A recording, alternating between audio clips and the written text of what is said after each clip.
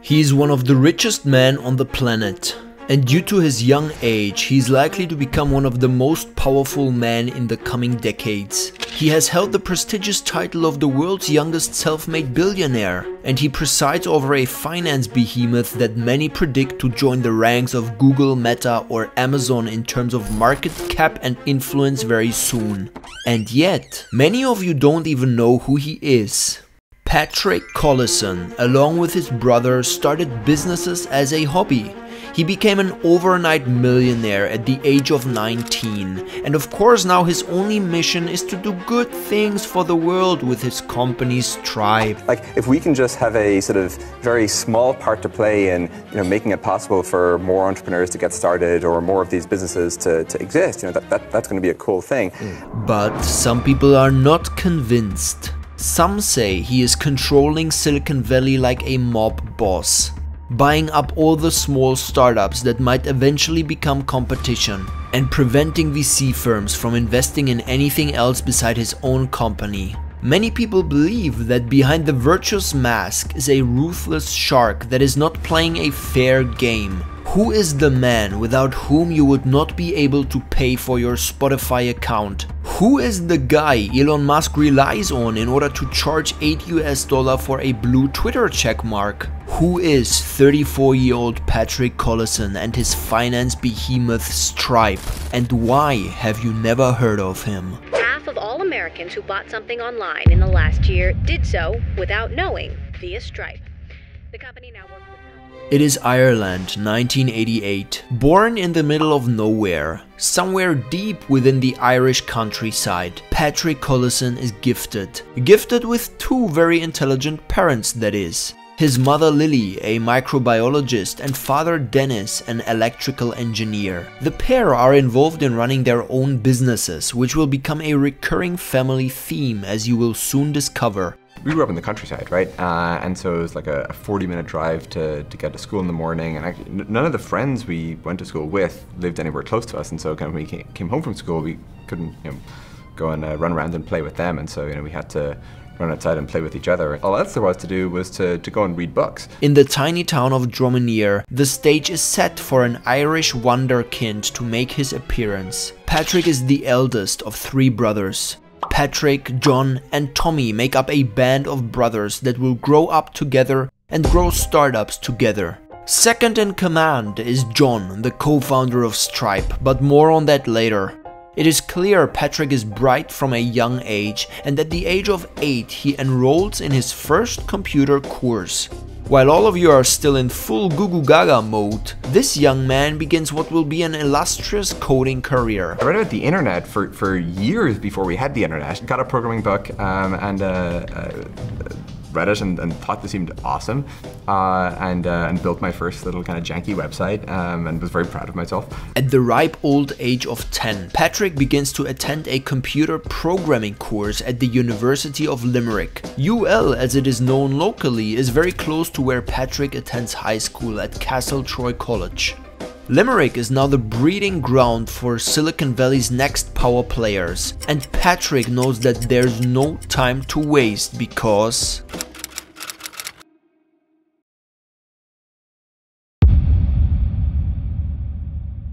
Patrick Collison starts early. I mean, very freaking early. While in school, our young hero enters the Young Scientist of the Year Technology exhibition. Artificial intelligence is the project he is working on. Named Isaac after his hero Isaac Newton. Patrick places a shameful second in the competition. You're forgetting what the Olympics are all about. Giving out medals of beautiful gold, social silver, and shameful bronze. Not put out by this poor display, he re-enters the tournament the next year, now called the BT Young Scientist of the Year Awards. Patrick redeems himself and comes out victorious. He is 16 years old. The winning project is the creation of Croma, a Lisp-type programming language. Lisp? It is a family of programming languages and a distinctive, fully parenthesized prefix notation. Lisp is the second oldest high-level programming language still in use, and it has a very big fan base online. The price is 3000 euro and a kiss from the president Mary McAleese. But kissing the Irish president only marks the beginning of Collison's remarkable reign finishing high school, Patrick attends the prestigious Massachusetts Techno University, or MIT as it is known to you millennials. Patrick, being a boy genius and all, naturally grows tired of this nonsense and drops out in 2009 to focus on his business ventures. The thing that led to us dropping out was kind of the realization that what we initially conceived of as being sort of a slightly niche product for developers or something solving a narrow problem or, or something like that uh, was actually, you know, this kind of lake was actually an ocean. According to Collison, eBay sucks. But I mean, obviously eBay just sucks. So he and his younger brother John start building a better version of the famous auction website. Rejected by Enterprise Ireland, the brothers have only one option. It could mean that you can't actually do it, or the idea is a bad idea, or, or whatever, right? Or, or it might not, right? Under the cover of darkness, the Collison brothers packed their bags and moved to Silicon Valley. It is there that the boys joined the notorious Silicon Valley startup program, Y Combinator. Y Combinator is an American technology startup accelerator. It has funded many hot successful companies such as Airbnb, Reddit and Coinbase. In a small apartment in San Francisco, the two brothers disappear and get to work. That's right, we, we moved out here um, and we, we got this like small little apartment in San Francisco and yeah. uh, and, and went to work basically. Um, and, and that was sort of really the that was my first time sort of spe- spending any significant amount of time on the West Coast and, and sort of learning how like startups work. Patrick and John soon join forces with another band of brothers. They meet up with Oxford students Harjeet and Kulveer Taggar and merge their two budding companies. What actually ended up happening is we merged with another company started by two guys, Harj and Kulveer Taggar,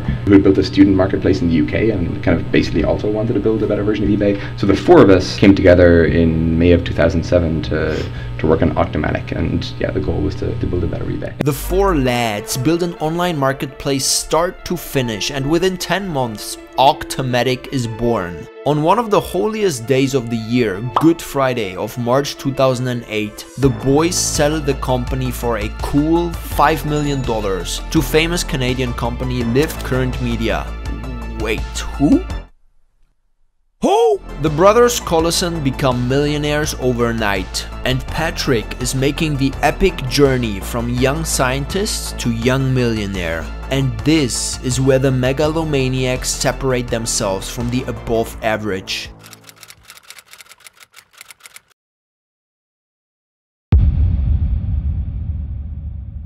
The stage is set and this young buck is about to make an absolute killing annoyed by inefficient payment options available. We started working on it, uh, I mean, literally because we were frustrated and, and, surprised it didn't exist. And I think something that's maybe somewhat important is we actually didn't think it was that big a deal. Uh, we were working on some iPhone apps on the side uh, at the same time, and we kind of kept working on both. We were working on the iPhone apps and working on, on Stripe, uh, or as it was known at the time, um, slash dev slash payments. Uh, we were um, great brand, excellent at branding. Yep. Um, I like the. And Without hesitation, Patrick and his brother disappear once again and head down to Buenos Aires. The two sit in a room for the next few months and code until they are blue in the face. The early days of building just weren't that glamorous. Uh, it was um, it was myself and John, uh, you know, programming all day, every day. A few months and seven lines of code later, the startup company Stripe is born. Well, not quite. Um, with his brother John. Well, actually, we started working on it full time in 2010, but it, it actually, to your uh, comment just there about companies launching, uh, it took us quite a while to launch because we had to get all these kind of banking partnerships in place and so on. And so we didn't launch until September 2011. Uh, we'd been working on it for almost two years. Uh, uh, at, at, that point, and uh, and every time we saw PG or really anyone else from YC, uh, all they would ask us is why we had not launched yet. Stripe is a behemoth financial SaaS startup with headquarters in San Francisco and Dublin. The giant unicorn offers payment processing software to e-commerce websites and your favorite mobile apps Put simply, Stripe allows you to pay for your Tinder Gold membership. Never wants to miss an opportunity, the PayPal Mafia soon turns up at Stripe's front door. It is none other than the infamous Peter Thiel, whom we have also portrayed on this channel, and the man himself, Elon Musk. Hey everyone. Pumping in a cool $2 million. Not to be outdone, the big boys of venture capital soon show up. Sequoia Capital, Andreessen Horowitz and BV Angel cut in for a slice of the pie. Irish entrepreneur Liam Casey throws his name into the hat and Stripe has a few million to play with kicking off. Speaking of kickoff, this task management app becomes Stripe's first acquisition. Stripe then acquires Recko accounting platform, adding to their suite of financial services. Stripe is now a player, a major player, putting pen to paper and inking major deal after major deal. 2022, Stripe enters a five-year partnership with the Ford Motor Company. At the same time, the company also partners with hit music sensation Spotify to help artists monetize their profiles. April 2022, Twitter announces a deal with Stripe to handle all cryptocurrency payments.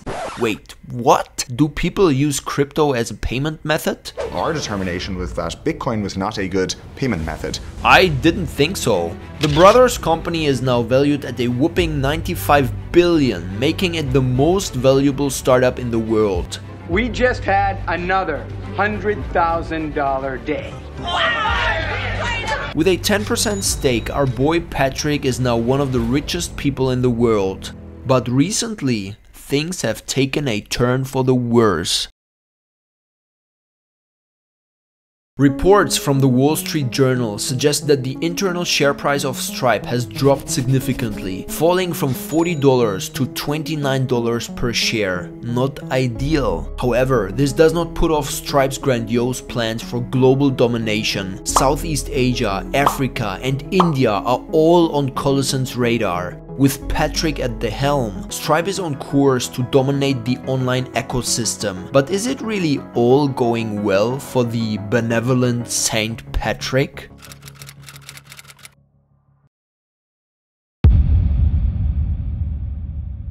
As Stripe grows larger, so too does the influence of its co-founder and CEO. In the wake of the pandemic, Collison, along with economist Tyler Cowen, set up Fast Grants. This is a story of how a tech entrepreneur and an economist rapidly funded some of the most innovative solutions to fight COVID 19. A charity providing rapid funding to scientists working on medical research. Fast Grants receives funding from the likes of the Chan Zuckerberg Initiative. Hey everyone. Along with other industry giants such as Elon Musk, Jack Dorsey and Tobias Lütke. Patrick's level of power is increasing and as we all know... Remember, great power comes great responsibility. Thanks, Uncle Ben. Due to his newly found influence, Patrick Collison has been involved in a few notable dust-ups already. In a bold move that many consider dangerous, Patrick has first taken aim at China, not only for economic reasons, but for what he deems a moral obligation criticizing the Chinese government regarding certain activities in the Far East, and criticizing the big tech community for keeping hush about said activities. The beef with China is also reflected in how Patrick does business. Stripe currently has no base in China. Because of your choice or because of their choice? We enable um, uh, people who use uh, Alipay uh, and uh, and WeChat payments, uh, you know, WePay, uh, to, to transact with businesses outside of China. And so we, we do business with, I guess, Chinese consumers, yep. but sort of, you know, Stripe Inc. has has no presence in China um, and we don't work with any businesses in mainland China today. Look, it, it's, uh, it's complicated. China is not a free country. In 2021, Forbes published a now infamous article about Patrick and brother John. In the article, Forbes claimed Limerick City is the murder capital of Europe and that stabbings happen there every night. The article also makes claims that certain neighborhoods are walled off by a 10 foot high barrier similar to the Berlin Wall. The article receives a lot of backlash. What the hell was that? Patrick slams Forbes tweeting, Not only mistaken about Limerick, but the idea of overcoming anything is crazy. We are who we are because we grew up where we did. Forbes is forced to remove the article and apologizes in an embarrassing U-turn. Another of Stripe's detractors is Ryan Breslow, the billionaire founder of Bolt, an $11 billion Miami startup competing with Stripe for fast one-click payments. My motivation here was to open people's eyes to what goes down in Silicon Valley, where it's not all sunshine and rainbows. It is very fierce, and there's fierce competition, and there's also games that are played with powerful institutions and, you know, groups of people who uh, you know, help each other. Breslow has publicly accused the Collison brothers of ruling Silicon Valley like mob bosses and shutting down the competition. Stripe has like all the big names in Silicon Valley invested in them.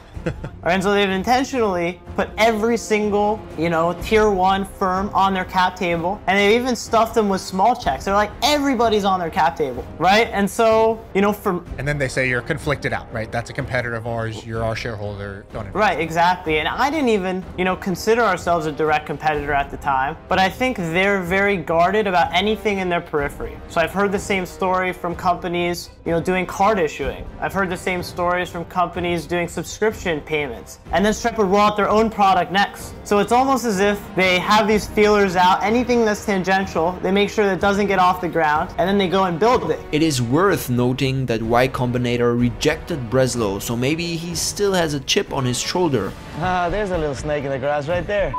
Hey, little boy. It is inevitable. As Patrick Collison amasses more power, more enemies will crawl from behind the woodwork. Will the tricks this billionaire boy picked up along the way keep his enemies at bay?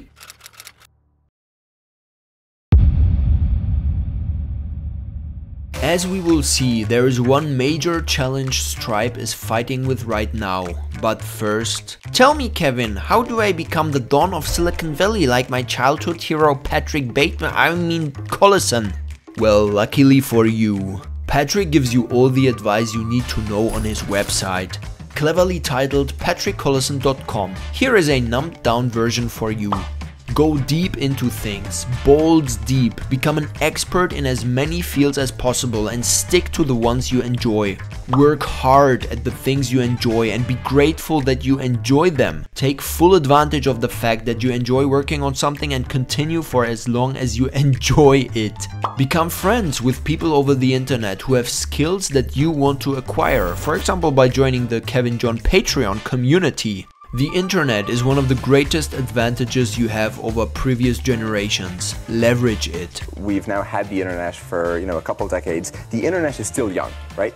Read a shit ton of books. Above all else, do not judge your success based on your friend group. Make friends, of course, but being weird in your youth is generally a good thing. Learn how to make good first impressions. Learn how to be funny. Hey, hey!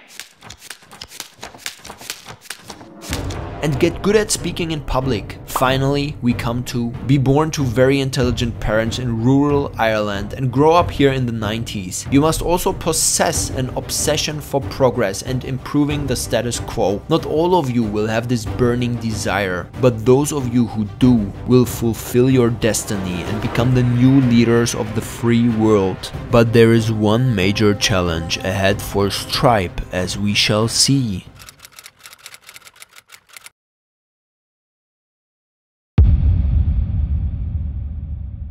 Today is a very sad day for America. In a tragic turn of events, rap superstar Takeoff has been shot dead outside a bowling alley. Now tributes for Takeoff as music mourns Migos' youngest member, shot dead in Houston at the age of 28. Things are not looking much better over at the Stripe HQ. Here's the headline from them moments ago. Cutting staff by 14%. It's readying for what they call leaner times. The co-founder said this, we were much too optimistic about the internet company's near-term growth in 22, 23 and underestimated both the likelihood and impact of a broader slowdown. Ed, they are not alone, are they? In a memo to employees, CEO Patrick Collison delivers a message that the entire business world should pay attention to. In a ruthless move, typical of the don of the Stripe Mafia, 14% of the Stripe workforce will be cut effective immediately. Patrick lays out the reasons for these terminations and they do not bode well for developed nations. The world is now shifting again. We are facing stubborn inflation, energy shocks, higher interest rates, reduced investment budgets, and sparser startup funding. In technical terms, that roughly translates to The planet is fine. The people are fucked. Patrick quickly highlights the key mistakes that the Stripe leadership made. Essentially, it boils down to one thing. Patrick and brother John were too bullish. Uh, a cut of 1,000, but uh, what I'm hearing from venture capitalists on all levels of the curve, from seed through to growth equity stage, is now is the time to be disciplined. Preserve cash, do not invest uh, with risk and be conservative with hiring and that is exactly what this Stripe story represents. Just like the Wall Street bets degenerates still holding onto their GameStop and AMC shares, the party is over folks.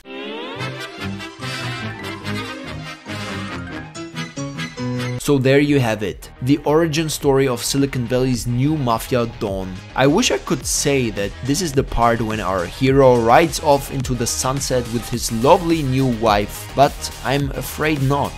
As one of the world's most powerful men, this is the time when he will face his toughest challenges to date, navigating the dire economic headwinds before him, plus defending his throne from the many enemies peering from behind the bushes just waiting to take a swipe. As the world we live in now enters uncharted territory, there's only one thing that is certain. You will know the name Patrick Collison.